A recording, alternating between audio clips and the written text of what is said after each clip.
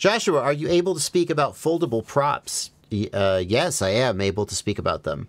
Uh, in general, uh, I think that they, they, they seemed like a cool idea, and most people moved away from them.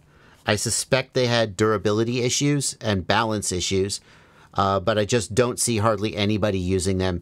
Even people who would benefit, like from the smaller size, uh, tend to stay away from them. About the only time I think that uh, foldable props really make sense is if you also have a foldable frame and you're trying to get that frame down as small as it can be. Werewolf Tactical LLC is looking at the Infra Caddy Cam. Well, with a name like Werewolf Tactical, I can't imagine why you would want a low light camera. Can I just hook it up to an existing VTX? Yes, you can.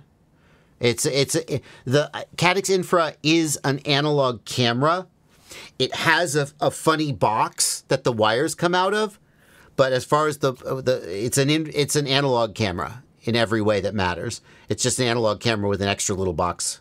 So yes, it will hook up to any analog VTX. Thank you for a five dollar super chat, Werewolf Tactical. Quad Mods asks, I keep seeing the Fat Shark Dominator Avatar goggles on sale for five thirty Canadian. Five thirty. Other than no video in, are they on par with Walksnail? Yes. Yes, they are. Uh, thank you for your $14 Canadian super chat.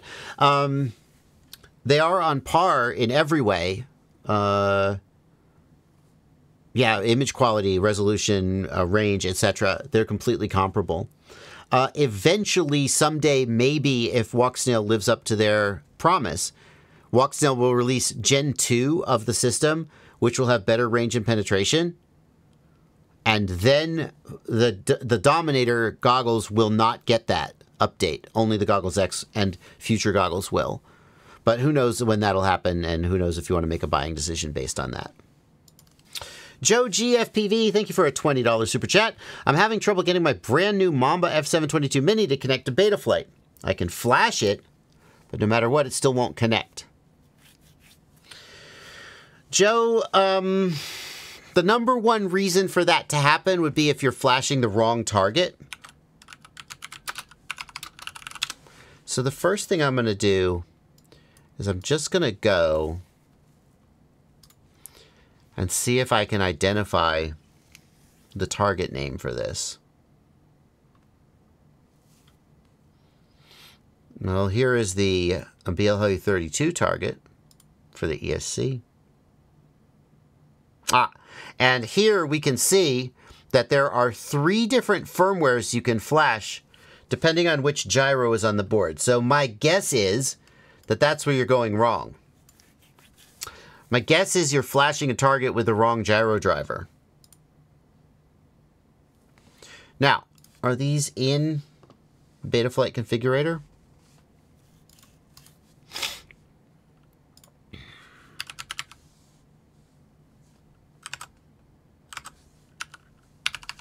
They are Mamba F722, F722A, and F722B.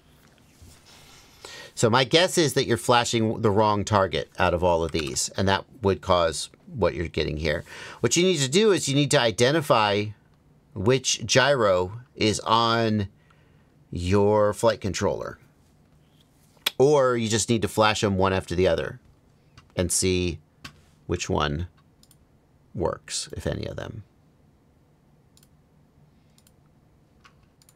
Uh, from IDGAF. IDGAF, the props are not the secret to DJI drones flying the way they fly. Yes, the props are part of it. DJI drones fly the way they fly because of the entire engineering of the drone. Simply taking DJI props or the pitch of the props and moving them over to a different drone will not give you the result that you're looking for. Um,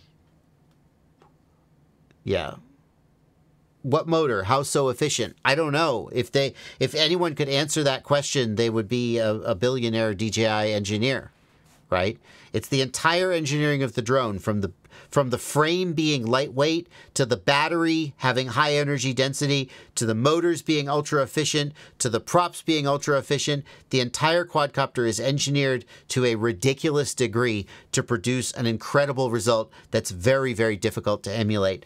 The question that you're asking is like, like looking at the space shuttle and going, well, how does it go to space? Like, what kind of fuel does it use? And it's like I could tell you what kind of fuel the space shuttle uses, but that's not going to tell you how it like goes to space, keeps human beings alive, and comes back home again. There's so much more to it. The DJI drone is not as complex as the space shuttle, but that's the point I'm getting at. There's a ton of engineering in there, and you can't just reduce it to one thing and then try to emulate that thing. My motors smell funny when I run them for more than 10 minutes. Are they super hot? Is that the smell of your insulation cooking? Um, figure out why your motors are getting hot is the answer. Um, it, maybe the motors are undersized for the prop that you're running. Maybe you're running them at too high a K, you know, too high a voltage, and they, the RPMs are too much. There's a, there's various reasons why motors. Maybe it has to do with your PID tuning. Um, there's various reasons why it might be overheating. But um, definitely, definitely don't just keep running them until they smoke, because if that that smell is probably the insulation starting to sort of cook, and if you keep doing it, you'll destroy them. Uh, is iNav as good as Betaflight? I want the return to home and position hold, but I don't know if it's worth using iNav over Betaflight. iNav's acro performance is not quite as good. Uh, it's still good enough for a lot of people. You should also keep in mind that Betaflight 4.5's GPS rescue is not as good as iNav. But let's let me put it this way. Betaflight 4.5's GPS rescue is about as good as iNav's acro performance. Right? So like if you want the real reason to choose iNav, if all you want is return to home, I think Betaflight 4.5 is good enough. But if you want position hold, waypoint missions, altitude hold, all that other stuff that iNav has, that's why you would go with iNav.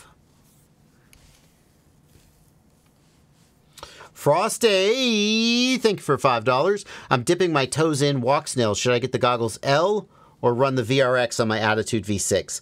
Ooh, that's a tough one. I would probably run the VRX on the Attitude V6 because I like the binocular style of goggles better than I like box goggles. But I would want to find out if the latency was going to suck. And I'm not sure if the HDMI input uh, on those goggles has bad latency. So I might change my mind about that. Why is my Fat Shark Dominator HD beeping fast and repeatedly? It thinks the battery voltage is low. It does that when it thinks the input voltage is, it gets below, I don't remember the number, but when it gets below something like 7.5 volts, it, it starts beeping like that.